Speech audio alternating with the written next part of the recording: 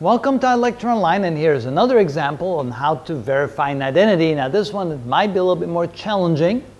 So here we have something that, ooh, you look at that, we have a secant of x divided by secant of x minus tangent of x equals the secant of x times secant of x plus tangent of x. It almost looks impossible that those two could be equal to each other.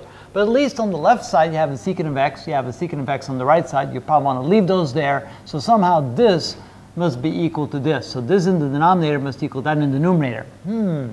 So in order to do that, my thinking is I have to turn this into a fraction because when I divide by a fraction, the same as multiplying by its inverse. So my strategy is turn this into a fraction so I can then write it in the numerator.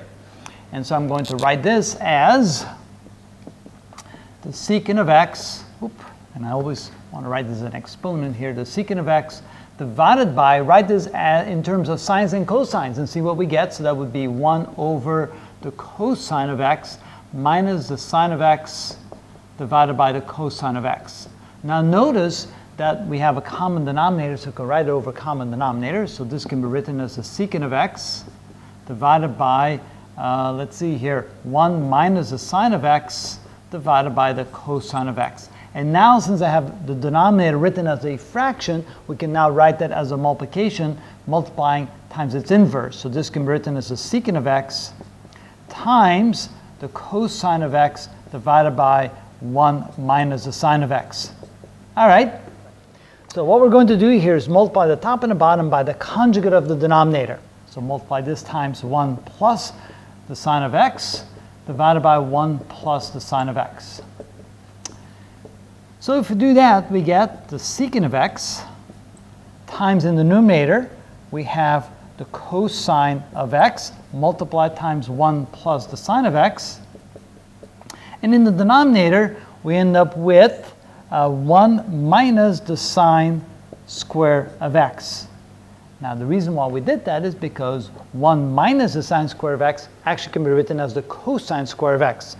So this can be written as the secant of x, I still have my secant of x over there, times the quantity, the cosine of x, times 1 plus the sine of x, all divided by the cosine square of x. Okay, now we're getting closer because now what I can do is I can cancel these out. And so this now becomes the secant of x times 1 plus the sine of x, all divided by the cosine of x. And now we can divide the denominator into the numerator. So this can now be written as a secant of x times 1 over the cosine of x plus the sine of x over the cosine of x. And then if we use the identities, we can now write this as a secant of x times the cosecant of x plus the tangent of x. And then if you look at that, you can realize that this is exactly the same as the right side over there. So again, we've shown that that is indeed a correct identity. The left side did equal the right side. So it took us a little while to get there, and it might, you might get sidetracked and go different directions and not end up here.